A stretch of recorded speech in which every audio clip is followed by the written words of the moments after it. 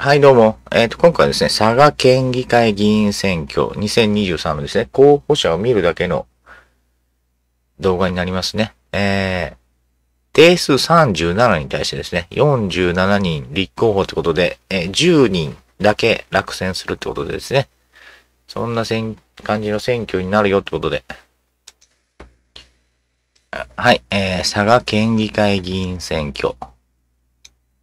はい、えー10人落選ってことで、えー、定数の多いところはですね、たくさん立候補するんで、あれなんですけど、定数の少ないところでですね、割と、えー、選、投票をやらずに、えー、当選が決まるタイプのあれが多くてですね、はい、そ、ここも、おそらくそんな感じなんでしょうね、ってことで。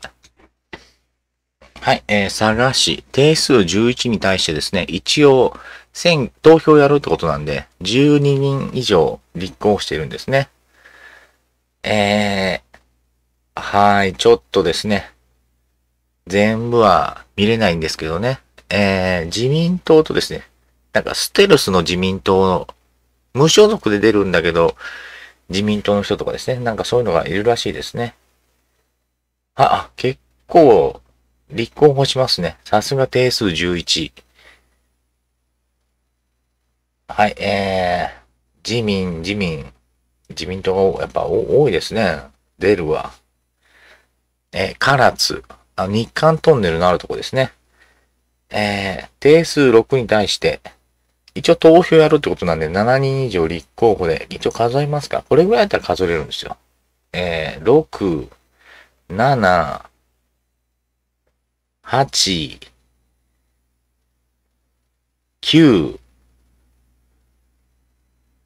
あ、9人立候補ってことなんで、えー、3人落選するんですね。日韓トンネルのとこですね。えー、鳥栖市でいいのかな？えー、ここはですね、定数3に立候補3人なんで、もう、えー、当選が決まりましたってことで、投票なしですね。はい、この方たちが、えー当選だそうです。自民、いや、こういうとこでですね、自民の当選が多いんですね。で、えー、タクシーってところはですね、タクシーみたいですね。えー、1に対して1人なんで当選なんですね。今里市。なんか、焼き物のところですかね。定数2で、当選が2で、自民、自民で、はい、当選が決まりましたってことで。竹尾市。えー定数2に対してですね、4人立候補ってことなんで、2人落選なんですね。これは珍しいんですよ。あの、もう本当ですね、立候補する人が少なくてですね、これ半分落ちるじゃないですか。こんなとこはですね、初めて見ますね。あの、げ、ある意味激戦区と言ってもいいぐらい。えー、鹿島市でいいのかなえー、定数2で立候補になんで選挙やらずにですね、選挙でね、投票やらずに当選、自民、自民ってことで、まあ、あれかな、自民が結構拾ってきますね。えー、お城市でいいのかな？はい、えー、定数2で3人立候補ってことなんで、1人落選ってことで。結構ですね、当選確率が高いんですね。県議選挙ですけど。えー、何ですかね？嬉野？吉野市ですかねこれは、定数1で1人立候補なんで、当選が決まったんですね。で、上崎市、吉野ヶ里町、吉野ヶ里ってなんか聞いたことあるな。気のせいかな。え定数2で3人立候補なんで1人落ちるんですね。で、三陽木郡読めないな。九州の地名は読めないな。定数2で3人立候補なんで1人落ちるんですね。西松浦郡はですね、えー投票やらずに当選が決まった自民党ってことで、これ系が多いんですね。えー、月島郡でいいのかな？じゃあ、杵島郡なのかな？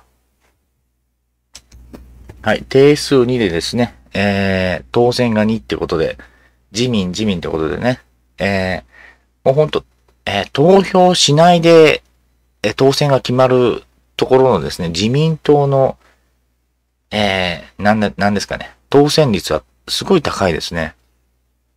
自民、自民、自民でしょ ?3 人自民でしょ？はい。割と自民党でも無所属で出る人はいるんですけど、はい。まあ、えー、佐賀、佐賀県はですね、こんな感じになってましてってことで、えー、やっぱりですね、えー、人口の多いところはですね、立候補する人も多くて、割とですね、激戦になるケースが多いんですけど、こう人がいないところでですね、投票なしで決まっちゃうケースがですね、全国的に多いみたいですよってことで、はい、今回ですね、えー、佐賀県、じゃあ、佐賀県の県議会議員選挙、えー、2023のですね、あれを見ましたよってことで、はい、えー、また別の件やるんでね、はい、今回佐賀は以上ですってことで、はい。